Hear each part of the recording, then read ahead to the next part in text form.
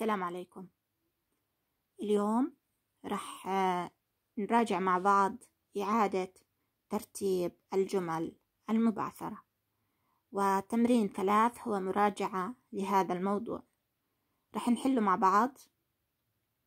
تمرين ثلاث رقم ثمانية الصفحة ثمانية وسبعين.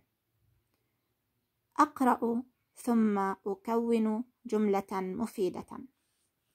في عامر جلس الحديقة. ذكرنا أنه أول شيء نبحث عنه فعل. إذا كان الفعل موجود نضعه في بداية الكلمة. ما هو الفعل؟ هو الكلمة المرتبطة بزمن وتعطي معنى أداء شيء معين أو عمل شيء معين. مثل كلمة جلس.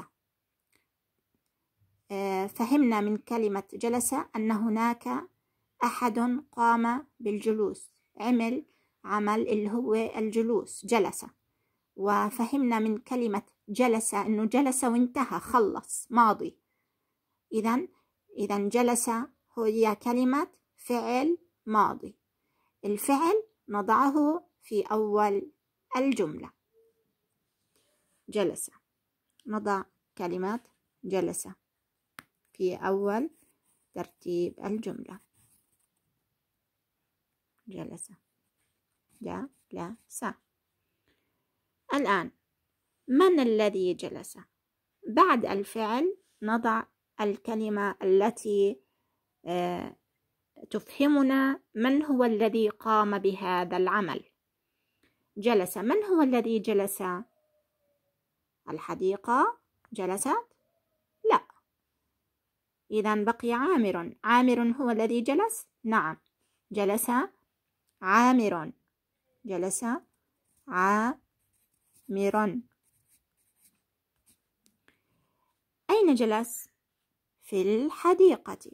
إذا جلس عامر في الحديقة. في الحديقة. ال هون عنا قمرية ال عليها سكون ها دي قا تي نضع آخر الجملة نقطة.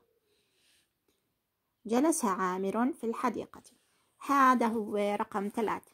هون عنا جملتين إضافيات بتعزز عنا معنى ترتيب الجملة صح؟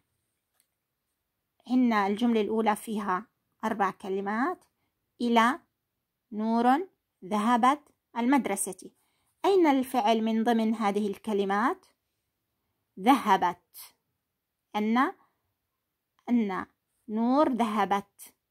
ماضي. ذهبت وراحت خلاص. إذا ذهبت تأتي أول الجملة نضعها في أول الجملة ذهبت. ذهبت. من التي ذهبت؟ نور. هي فاعل الجملة الذي فعل العمل الذي قام بالعمل هو الفاعل. نور فاعل. ذهبت نور. أين ذهبت؟ نور إلى المدرسة. إلى المدرسة. المدرسة. المدرسة اسم إيش؟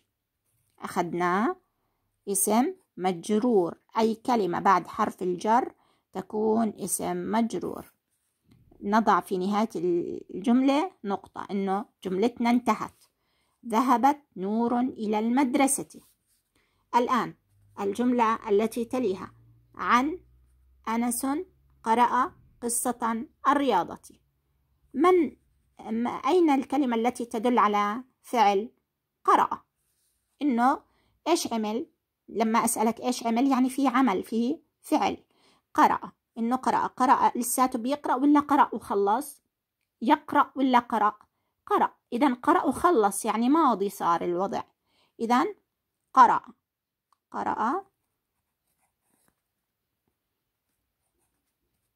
قرأ. من الذي قام بالفعل؟